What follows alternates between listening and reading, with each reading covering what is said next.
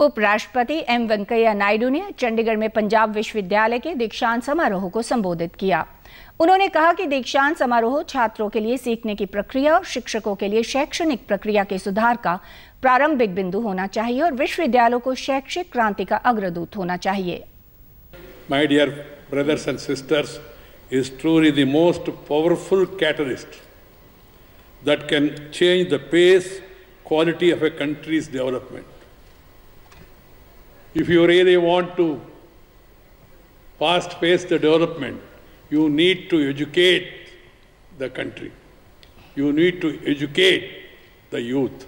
You need to upgrade the skills of the younger generation of the country.